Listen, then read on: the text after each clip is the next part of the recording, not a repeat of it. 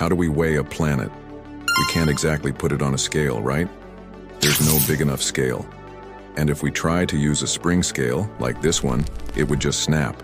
So instead, scientists use a clever trick. They send a probe to the planet and drop a weight.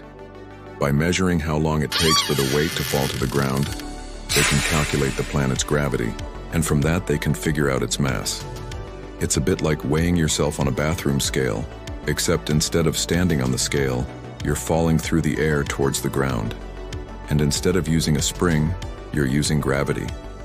Now we know that Earth's gravity is about 9.8 meters per second squared.